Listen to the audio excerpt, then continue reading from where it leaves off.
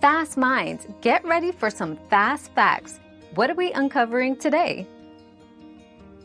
Yes, you can transfer your GTA Online character from Xbox One to Series 10 S. To do this, start GTA Online on your Series 10 S. Log in with the same Rockstar Games social club account you used on Xbox One, and select the character migration option. Make sure your game data is saved online and not exclusively on your Xbox One console.